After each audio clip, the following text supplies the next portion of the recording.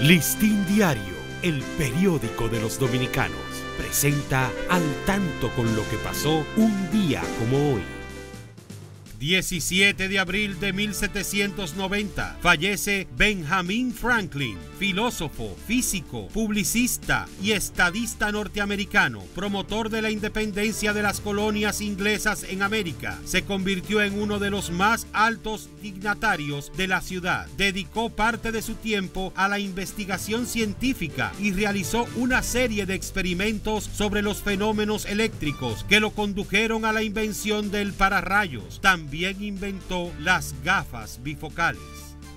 1843, Juan Pablo Duarte es nombrado comisionado para organizar los pueblos de la región este. Listín Diario, el periódico de los dominicanos, presentó al tanto con lo que pasó un día como hoy.